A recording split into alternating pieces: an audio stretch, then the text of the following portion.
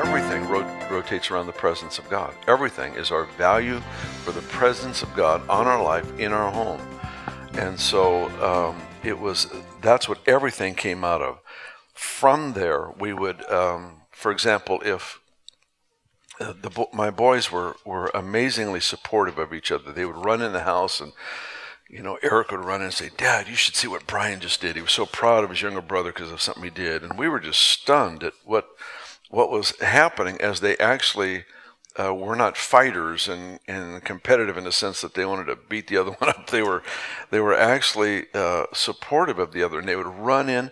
And so whenever they would do something that would represent a fruit of the Spirit, I would I'd say, Eric, do you know what that was? And he'd look at me like, Am I in trouble? I don't know what I did. I thought I was flowing pretty good here.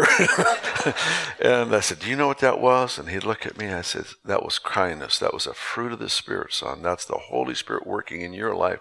That was wonderful how you honored your, your brother. And